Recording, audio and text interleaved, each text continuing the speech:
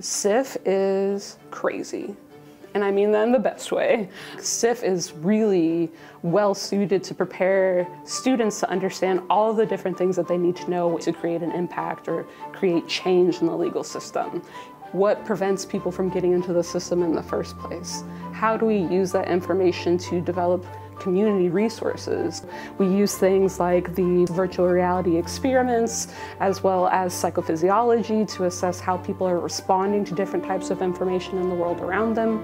It's all fun. I, I, I, enjoy it all. I think learning of all the different areas that forensic psychology works with is really important. So not only just taking psychology classes, but learning more about criminal law um, and how they all interact together. We're looking at scratches or modifications on the surface of skeletal material. My students right now are working on differentiating between cut marks that are produced from straight edged blades and serrated blades.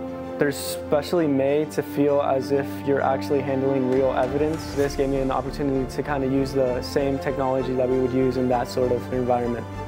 They can take those skills either to law enforcement, a lab technician in a, in a crime lab, so they get a, a broad exposure to a lot of different skills and knowledge bases in forensic science.